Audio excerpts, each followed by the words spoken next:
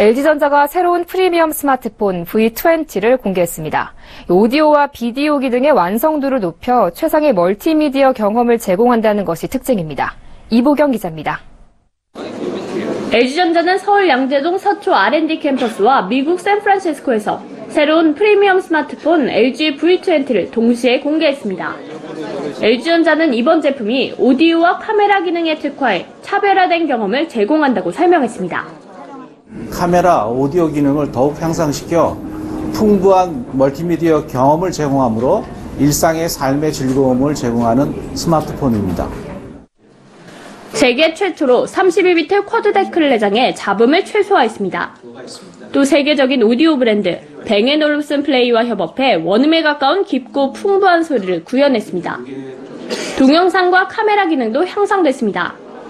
세계 최초로 전후면에 광각 카메라를 탑재해 셀카봉 없이도 7, 8명이 함께 사진을 촬영할 수 있고 넓게 펼쳐진 풍경을 한 프레임 안에 담을 수 있게 했습니다.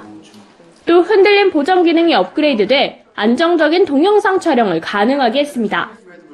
아울러 V20는 구글의 최신 운영체제인 안드로이드 7 누가를 세계 최초로 탑재해 스마트폰 화면 분할로 두 개의 앱을 동시에 사용할 수 있는 multi window 기능도 지원합니다.